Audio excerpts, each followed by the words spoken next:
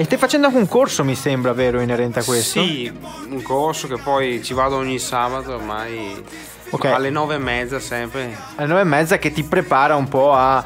e fai molta teoria, pratica, come funziona questo Beh, corso? teoria e pratica, cioè, nel senso ti spiega il, il maestro in questo caso, dopo procede alla ma mi ha detto che, che lavoro bene. Bene, bene, questo è un buon segno. Quindi, chi è interessato, chi ha bisogno di un artista, chi ha bisogno di eh, avere dei quadri, perché poi alla fine Pippo fa questo, fa quadri, beh, eh, può rivolgersi a James Di Dawson. Oppure no, attenzione, sì, sicuramente a James Di Dawson, ma anche alla pagina ufficiale di Pippo, perché Pippo, tu hai una pagina. Una pagina molto nuova, adesso Ah. creata, di recente, di recente, insomma, ho portato delle modifiche. E come si chiama questa pagina? Filippo Sprodorate. Esatto, lui potete andare lì e ovviamente contattare Filippo per fare un'opera.